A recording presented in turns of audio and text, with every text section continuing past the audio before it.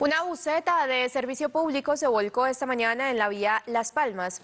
Hasta ahora se reportan dos personas lesionadas. El hecho ocurrió en el retorno 6 después de la colegiatura cuando el conductor de una buceta de la empresa de servicios públicos Sotra Retiro pierde el control del vehículo y luego se presenta el volcamiento. La policía de tránsito hizo presencia para controlar la movilidad del sector que ya está restablecida.